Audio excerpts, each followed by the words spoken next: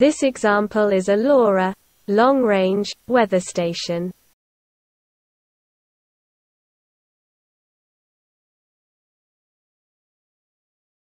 The lower Pico board read temperature and pressure and send data to the upper Pico board via LoRa.